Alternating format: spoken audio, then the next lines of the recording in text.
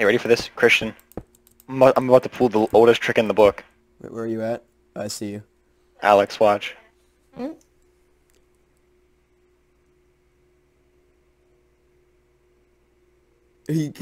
I know exactly what you're gonna do. You gotta bring like three of them and smack them once. Jake? Wow, awesome.